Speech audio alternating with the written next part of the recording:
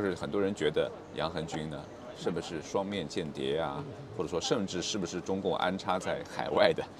这样一个人？这这些说法，包括包括一些自媒体，嗯，他们为了流量，为了什么东西这样炒作这样的话，是真的无聊。你这这不是胡说八道嘛？你从从常识上你说不过去嘛？你你要动动动脑嘛？你的逻辑在哪嘛？有的人会他会有这种阴谋论的想法吧？比如说你就是中共内部的人啊，你就是中共的人，但是呢，你可能做了某些事情啊，侵犯了就是内部的内部的一种权力倾轧呀，或者怎么样子，然后呢，别人就用你在三十年以前做过这个事情来整你，呃，这个逻辑上讲似乎也有这个可能性啊，是吧？你你你说你说那不不包包括网上一些我网上网上人一些一些讲的还还难听，还讲的更难听，就是狗咬狗咬狗。对对，或者说比如说他在澳洲，然后帮澳洲政府啊这个做了间谍，但中国政府不拿这个作为来罪来治你，我就拿三十年以前的，我只要把你关在监狱里死缓，我管你有什么罪名是吧？也有人会这么想。因因为这个事情，我们我们包括做媒体的人，啊，观点可以不同，是事实必须必须尊重。就说你你用这个阴谋论，就是说你找不到证据，我我来阴谋论，就就讲他是体制内的人，呃，他他怎么样？体制内的人，你我我刚讲你你一个是你你去找证据，一个是你用基本的常识、基本的逻辑。他体制内的人，他犯得到移民过来一贫如洗，呃，没有职务，没有任何工作，其实他国内是没有任何落脚之地。其实他们看他，哎呀，呃，今今天飞哪里，今天飞哪里？其实这些钱。哪来？都是一些朋友底下底下就是赞助，像不像以前因为这个这个幸福教育集团的啊，新力健，嗯，我们也听说过，就些私下朋友，包括在在后来给他一个戴高帽的一个一个一个一个张辉，在加拿大，嗯，办这个华人世界周刊的那个张张辉，就是在国内做教育出版，有些钱私底下给这些资助，嗯，他是一贫如洗的人了。你说杨鹤军是一贫如洗，一贫如洗的人，在在在国内，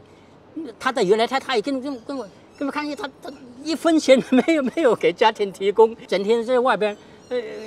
家里没有没有没有，就根本不不不尽一个丈夫一个爸爸的这个最基本的责任。啊，这是他前妻对他的这个指责。是一一一本身这这这这这就是事实，他 没有收入，你也认同？呃，是事实，他没有收入。这个这个这个杨和军的这个底下跟我也坦白这个事啊，他是在就是他他就是相当于啊迷上这个这个网络，迷上他在写文章。啊，他那天写的差不多两千万字的文字啊，整天一起来就爬，就没天没夜的写文章。是是。然后然后他的收入就是打赏，不他不像这个这个周小平这个这个爱国粉丝打很多打赏。在国内，他原来这个这个小说在香港出版，也没卖也没卖几个钱。原来想着这个要拍拍电视，拍拍拍，是一个理想主义者啊，是是一个纯粹的理想主义者。就是里面就是生生活在自己制造的这个这个这个很多人梦想里头。很多人都觉得你国安出身的一定是八面玲珑的，想搞钱想搞钱，想搞女人搞女人的这种。但其实就是说这是一个，他在以前的国安系统也是做什么调研啊，做什么研究的，是吧？是是是，并不是一线执执执行的这种人。对对，是的，是的。所以，所以，所以他没没有任何，没有。国安系统里面出来的文艺青年。对对对，国安系统出来的文青，就是里头是他没有任何积蓄，没有任何投资。广广州，他一直住在什么地方？城中村。啊。这个这个。不敢见人的，从来没有说邀人去哪里见面，要出来就是去去，有时候还很爱面子，要去跟朋友借部车开出来，好像很风光的样子，穿穿的很实在的。这些您您都跟您说了是吧？不 是啊，这这根本没有落脚之地，就是这这这穷的一塌糊涂的是这个这个，就哪怕跟跟跟新区里新新新区里头，那对对他非常好的，回来澳大利亚还是住住住在他原来的房子，还是住这一块。离婚以后还还住还住这一块，所以说这这里头。彻底的穷光蛋，这里头这个这个概念，就是里头你是你说他是体制内，体制内他要是真正跟体制内，呃，他他用用他的地位用权力去挣钱有好处，半分钱都没挣到，没有任何好处。你这个这个指控是非常伤，其实是令我非常伤心的事，就是已经在这之后你还说这番话来的落这个这个落井下石。其实你要知道，杨红军抓进去以后，后来你还记得在在啊在坎培拉的一个叫什么名字，一下想不起来。我说你这些人，谁这这之后，你说我看到我的信息之后，还对他两公斤进行攻击、论人驾驶，我跟你不共戴天。就这这个这个，看得出来，您您现在就很讲的时候就很激动。其实这个这个是个很荒谬、非常荒谬的一个是我我能一个指控。对我能理解，就是因为您跟他一直是呃，您是他的良师益友嘛，是吧？莫逆之交这种感觉。您知道很多东西，但是呢，您知道东西呢，没有人相信，也没有人帮您把这个话给传送出去。而且而且没有机会，你说你说我我要发文章大篇论嘛，你是。因为他人抓在里头，包括他们很多人说，哎，袁小亮他们现在袁小亮出来出来反悔，袁小亮现在在边控控制那国家，这你你被被监控着，他有他他他现在他在他吃了豹子胆，现在出来申请我，现在反共，跟你一样的，我我都是反贼。这这这这些要求是是是完全无理要求，是王八蛋的要求嘛？你你怎么你你你把它换成你，你你你能这样做吗？其实我前面就有这个问题，就是我想知道一下，您知不知道杨恒军在澳洲、在美国这个收入来源？但是你已经告诉我了，其实他，嗯，其实没有什么非常可观的收入来源。没有任何来源。那中国出来的时候，辞职出来的时候也没有带什么钱财，比如说卖情报得来的钱等等。没有任何来源。其实，其其实他他他有个非常对他非常好的姐姐，是在是在广州做做这个这个纺织厂生意。啊，OK，也对他有所资助是吧？呃，给他一些资助。OK，就是就就是他，因为没有收入来源，他甚至失去了自己的之前的那个婚姻。我们有时候形容我们之后说我们是做七十一帮膝膝盖的膝，就出来流亡。其实其实杨杨金就是如果如果讲不好听，是真的做乞丐。OK，就是很多朋友赞助，他没有固定收入的。那这样子就回到一个问题啊，非常尖锐的问题。我们知道袁小亮、冉香啊，很多人叫他大五毛啊，甚至外宣或者怎么样子。那既然杨恒军一贫如洗的话，而且还是已已婚有两个孩子的袁小亮，为什么会跟他？很多人也在私底下问我，包括我的朋友，我不合我逻辑啊我我给一个很很简单的回答，就是说，英雄气短，儿女情长，就是男女之间的事儿，就是看上眼儿了吗？嗯看上眼。就这里头，其实他跟他真正认识是在他杨群，在这个二零一五年认识，嗯他们是二零一七年结婚的。袁小亮原来是这个叫冉香这个笔名，袁小亮不是冉香，问两个划等号，就是冉香是一个公号，公号上发的很多言论，并不是袁小亮的。他何以是何以是孔宪东的，何以是这个这个吴法天的，啊。可以是是什么？他这个团队。是是四月网的一个团队是就是他是一个网民一个网易嘛，就一个一个一个一个公号嘛。那么就袁小亮只是负责一个负负责负责这个脸面。公号，然后当然有一些是他的，OK 他不是他不是他不是无辜的，就是说他他他就是说他做这个爱国生意，是。呃或者爱国爱党生意吧，就那那个那个性质的爱国。是。是那那其实我们都那个过程，我们从小受教育，你如果如果你不出来，你没有打开眼界看世界，那那我们还在是是是是是个啊、小粉红，就是你你无法告别那那个体制，无法告别那种意识形态。OK 这，但是他不是无辜，就是说你说平庸之恶之恶也好，做这个爱国生意挣钱也好啊，他管理那个那个那个那个染香啊，这个工号。你你你你你可以讲，你你可以讲是是是有过大姐有亏，你都可以这样讲。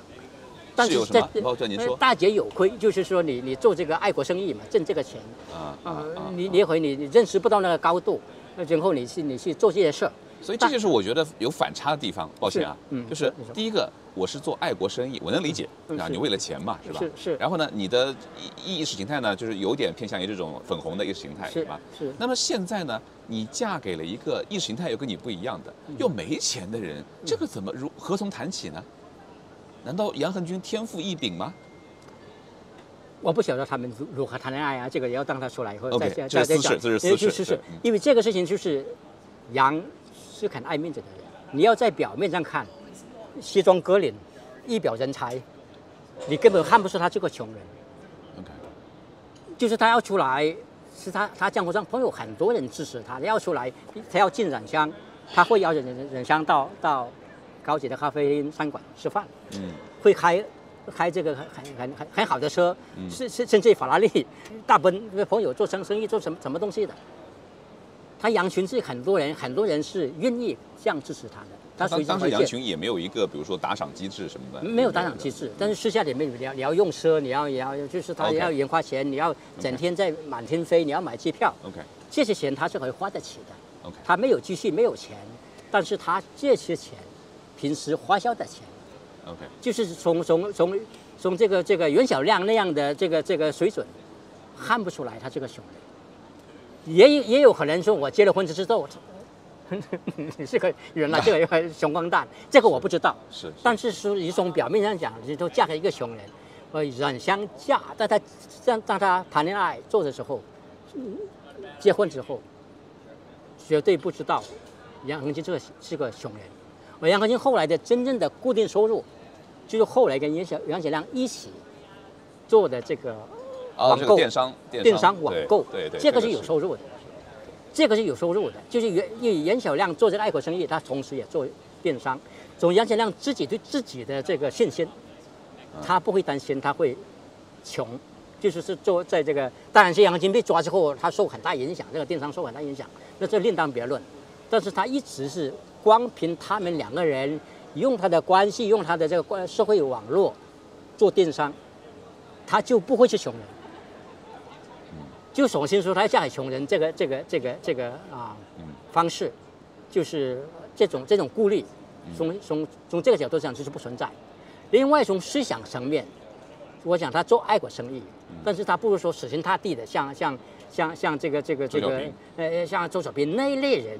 就是这个说底内心的话，没有底线的那那那那种那种，或者像黄信东他们就信那就那套邪教的东西。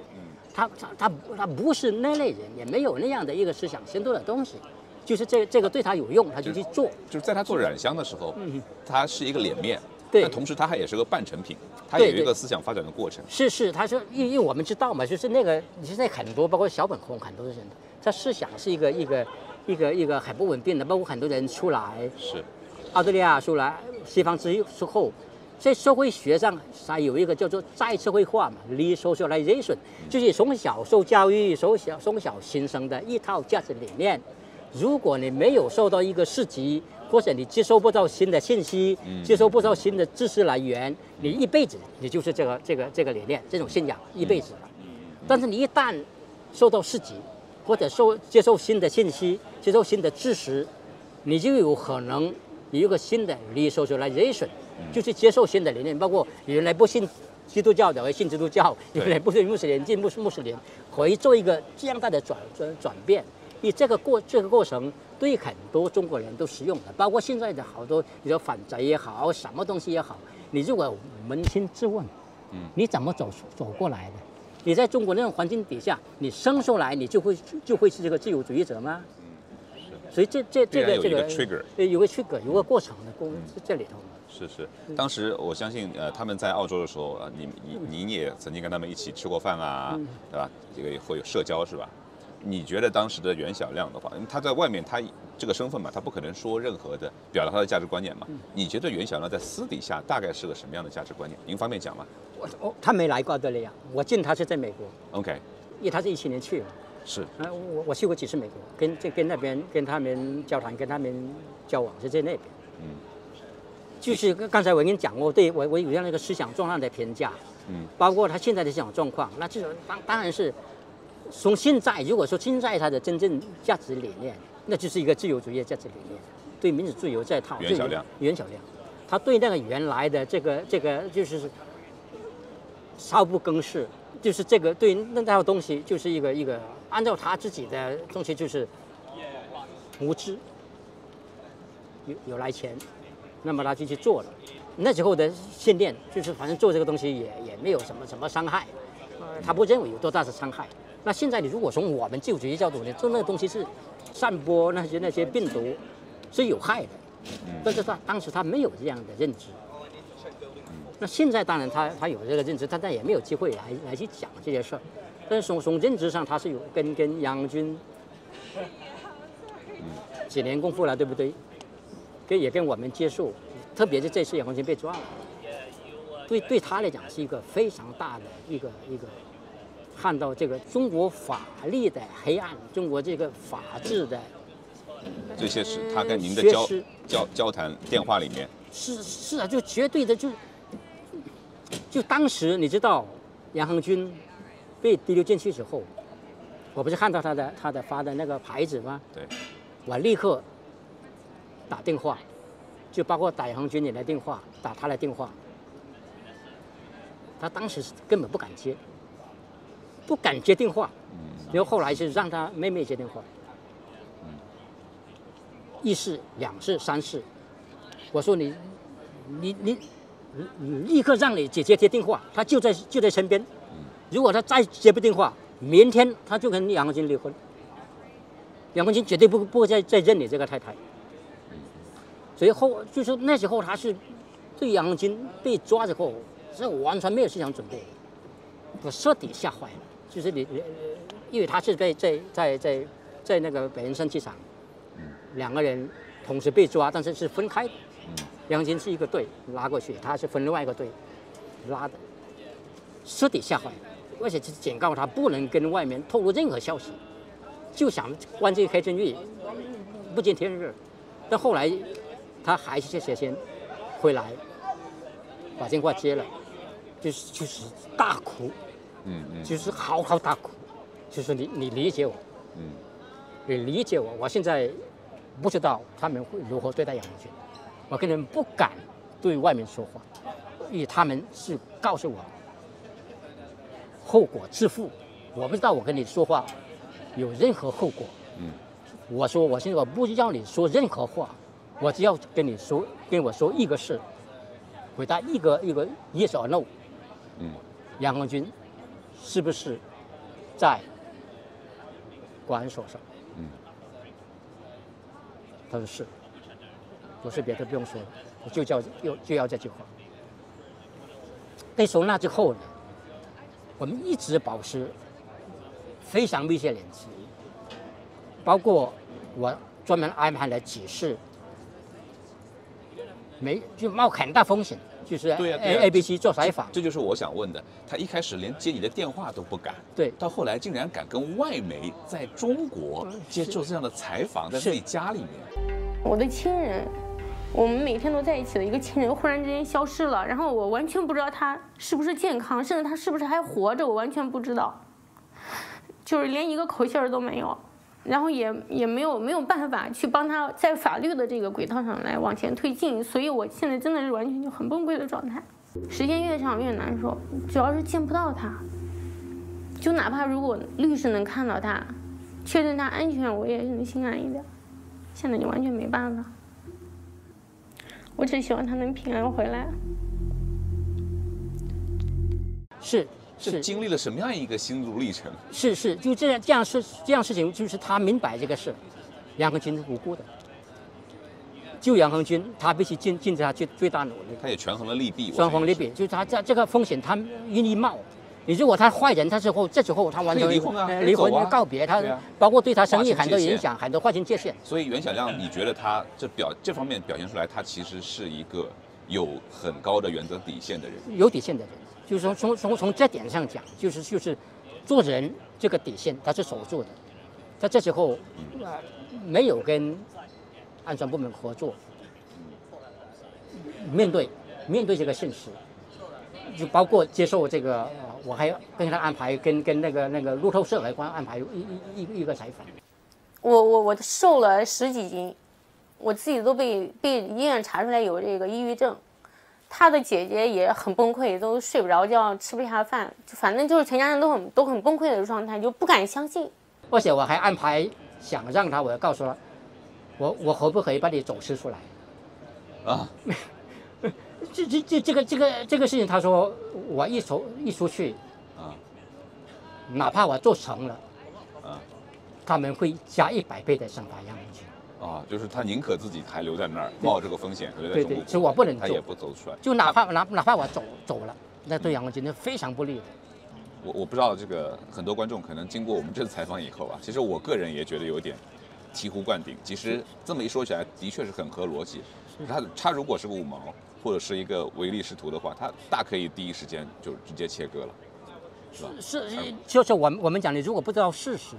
你去寻找事实，或者你你要用常识、用逻辑嘛，就这个概念。就是你你这个方式，就是这个一个媒体人应该做的一个方式，去修真，来来去修实，然后用用用这个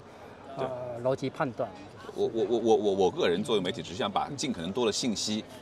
尽可能的角度带给观众，让他们自己去思考。